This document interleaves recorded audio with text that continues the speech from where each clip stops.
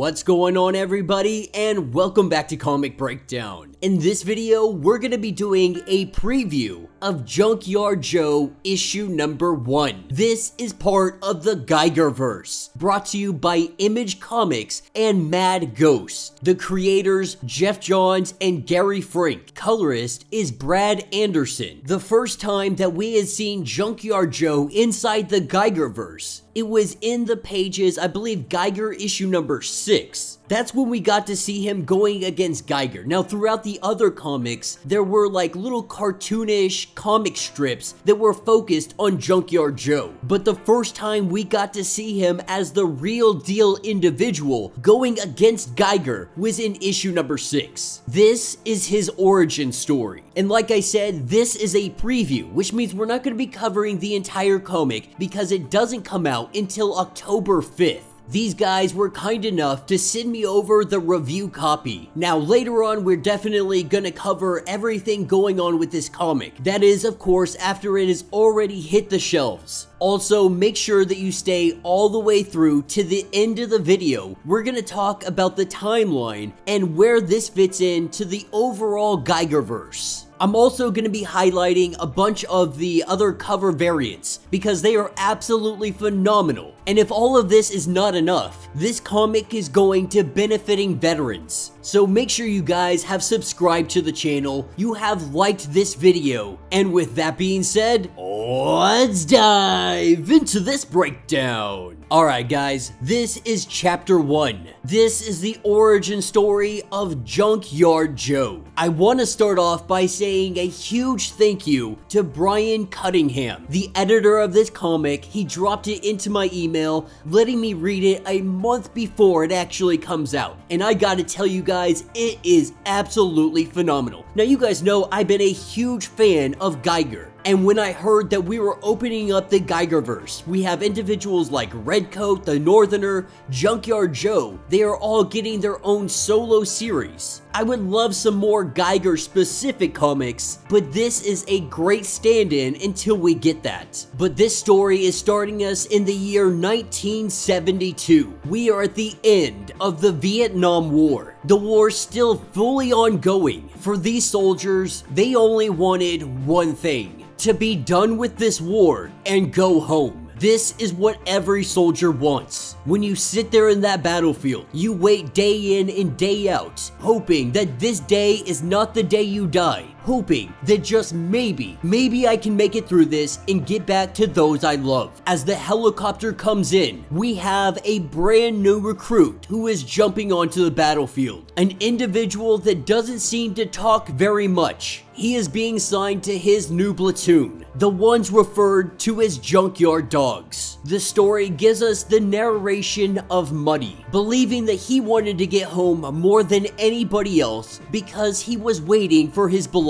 They were to be married as soon as he was done with this war. She was everything to him. And so as all the soldiers, they sit here, they BS, they do their mail call, which is one of the most important aspects of being in war is mail call day. That's when you get the letters, the care packages, something that we take for granted when we're not in war. But to a soldier, these are everything getting interrupted because Sarge would like to have a talk with them all. As our new recruit is being introduced to Sarge, he's kinda not happy that they got the new guy, also known as FNG, telling everybody that they need to fall in. They have their next mission. And while Muddy tries to have a conversation with our new guy, our new guy is the strong silent type, everyone believing that he's just scared. This is his first day on the battlefield, his first day in a war zone. But they pack up, they grab their ammunition, and they head out. As they go over their maps in the middle of the night, they appear that they might be just a little bit lost. The squad sitting here arguing over whose fault it may be. But while all of them argue, our new guy, he is standing guard. He is looking for any enemy combatants. A lot of the guys finding it a little bit weird that the new guy is so quiet while they are talking amongst themselves. The soldier known as Band-Aid, he has a bullet rip right through his freaking face. This is when Sarge tells everybody to take cover. As the rounds start coming in, we see the new guy. He starts opening fire, shooting into the jungle. He takes down the enemy combatant. As he takes this guy down, we see another VC come out of hiding, wielding a grenade in hand. This is a suicide bomber. He goes charging at the squad, only for the new guy to drop his weapon and charge right back at him, grabbing hold of him and tackling him down to the ground. The grenade detonates. With its detonation, the squad looks in disbelief because the new guy, he stands up, no longer having skin, his robotic skeleton exposed. At this point, our squad, they have no freaking idea what to think of this guy. Clinking his way back over to the land, currently in a rice paddy, he makes his way over to Band-Aid's gear, pulling out the extra clothes that Band-Aid had had. No longer needing it, we see him put this stuff on, his name tag saying Joseph. He picks up his rifle, and he is ready for battle, looking relatively unscathed from this battle. Of course, aside from losing all of the fake synthetic skin that was all over his skeleton body. The squad not knowing if he is a friendly, not knowing exactly what this guy is up to. He doesn't appear to be hostile, not really sure where he came from, what his orders actually said, because the Sarge didn't take the time to actually look at his orders. The only thing they do know is that this guy saved their lives, robot or not, with the Sarge letting them know that what side do you guys want him to be on? The truth is, we all saw what he is capable of. As it stands, he doesn't look like he is violent. It doesn't look like he is violent towards us. And so as long as he is on our side, pray to the gods that we have something like him. As it stands, the mission is still the mission. And so they gear up and they head out. And that will be the end of this preview. So let me know what you guys think down in the comments. Now, if this is a story that so far you have enjoyed, be sure to go to the comic book shop on October 5th. You can also pick it up digitally. There is a black and white version as well. There are tons of different variant covers. Like I said, all of this is going to help supporting veterans. So not only can you get a freaking awesome comic out of it, but you're also doing it for a good cause. And there is a lot more to issue number one. You know, being a veteran, being an infantry soldier myself, I love these kind of stories. This one was absolutely phenomenal. I really do enjoy Junkyard Joe. He is a very interesting character, one that doesn't even say anything. He has no dialogue whatsoever, but they have done such a good job of creating and writing Junkyard Joe. But by the end of this comic, I can feel what he is feeling. I understand what he is going through. The truth is, war is hell, and they have done an amazing job of being able to capture that. Now, when it comes to the Geigerverse and the timeline of Geigerverse, we're gonna quickly go through this, just so you have an idea of where Junkyard Joe really lands in all of this starting in 1776. That is when Redcoat becomes immortal. The Northerner. This is when he begins his hunt. 1864. We have someone called the Monster. This is the year that he is made, the year of 1944. Have to assume that that has something to do with Nazis. 1972. That is when Junkyard Joe comes online. 1997. American Widow X. This is the year that she has her revenge. The first ghost is captured on film in 2026. And in 2030, that is when the unknown war erupts. That is when the story of Geiger begins. And in 2050, that is when Geiger walks across America. So you guys see that while Junkyard Joe, he does have his role throughout this story, and he is well off into the future. He lives for quite some time, but there are so many other characters that are going to be tying into the Geigerverse. And I for one am so freaking excited to see what comes next. Geiger knocked it out of the freaking park. Junkyard Joe, at least for its issue number one, knocked it out of the park. We did get a little preview of Redcoat in previous issues. That seems to be a very promising story. Now, I'll save my, my review, my judgment, for when I read the whole thing. But so far, it looks to be absolutely amazing. So if you guys haven't checked out Geiger, be sure to go do that. And make sure you hit the comic book shops October 5th. Junkyard Joe issue number one will be releasing. Let me know your thoughts, let me know your theories. If you would like to get caught up on everything that has happened with Geiger, be sure to check out the link in my description as well as the top of this video. It will get you completely caught up on everything going on with this series. If you would like to support the channel, you can always do so by joining the channel membership. Much like Patreon, we have five different tiers, from $1 to $50. From loyalty badges to me sending you free comics every single month. This is a great way to not only get perks for supporting the channel, but helping us out in tremendous ways. Now, if you're not able to do this, do me a favor, subscribe to the channel, like this video, hit that notification bell, and with that being said, until the next breakdown.